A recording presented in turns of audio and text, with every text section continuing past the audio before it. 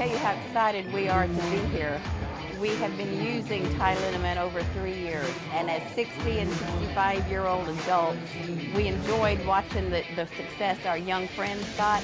But when we tore our rotator cuff, we knew where to turn, and we found great comfort, great relief of our pain in using what the experts have used for years.